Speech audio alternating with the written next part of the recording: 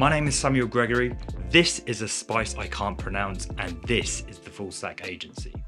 I'm constantly responding to people in my comments about the UI of Pinegrow. It sucks. Like Dreamweaver. So complicated. While I agreed in my first look video, I've grown to actually think that for the tool is actually a really great UI, once you grow familiar with it and understand Pinegrow better. To cut right to the chase, Webflow as a tool is incredibly simple and provides just enough to get some pretty great results for most people. But for the rest of us, we need more from a no-code tool. I counted about 45 elements that you can create in Webflow, many of those being components such as the slider, and some being essentially the same element styled differently, for example text link, link block, and button. So realistically, we're talking about actually 20 elements that you can create. To put it in perspective, I counted roughly 133 possible HTML elements in the HTML spec. With a limited number of possible elements, of course the Webflow UI is simple because there's simply less to do.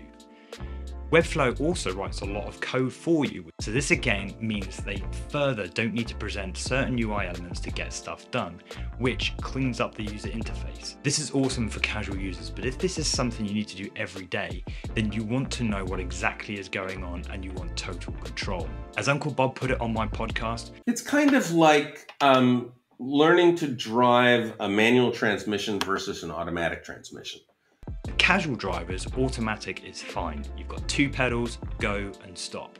But if you understand manual gears, the clutch, the feel of the revs, it allows you to get so much more out of the car. Manual cars have that little bit of extra UI, but once you get familiar with it, it's much less daunting. You wouldn't ask a race car driver to use an automatic gear car, would you? As creators, there's always going to be a learning curve in getting familiar with a new tool, and the more advanced they get, generally the more difficult it becomes. This isn't to say that we should be complacent with a complex UI, but it's certainly something I've come to expect, and instead of just disregarding it because at first glance it seems complex, I follow tutorials, I look into the documentation, and just have a click around and have fun in order to find my feet. Here's some things I think that will improve the UI of Pinegrow. I invite you down in the comments to let me know what you think makes Webflow UIs great, or what you would do to change Pinegrow's UI. I definitely think some more iconography can help, with people not only enjoy the interface a lot better, but they can learn to associate imagery with certain actions, elements, or properties. This is something Webflow does really well. There's very little text on their interface and icons are dominant. I would say that given there's less options, they have more space to play around with to show these icons, but at least it's something to consider for Pinegrow. Another thing Webflow does pretty well is contextual options. For instance, you can't see flex elements unless a parent is of display flex. And while I dislike that Webflow forces you to create elements top down, Pinegrow lets you create your children first, style that, and then work your way up to the parent. But having an adaptive interface really does clean it up. Similarly, a lot of styling properties are obfuscated, presumably as they are not widely used, but you can access them by clicking a show more button.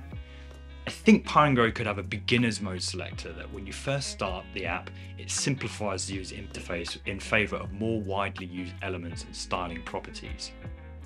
So there's my thoughts in one video. I encourage you not to disregard things at face value and push yourself to learn and grow as a designer. As I said, let me know down in the comments what you would do to change Pinegrow's UI, and I hope that you enjoyed this video. Like, subscribe, watch one of these videos, and happy building the future of the web.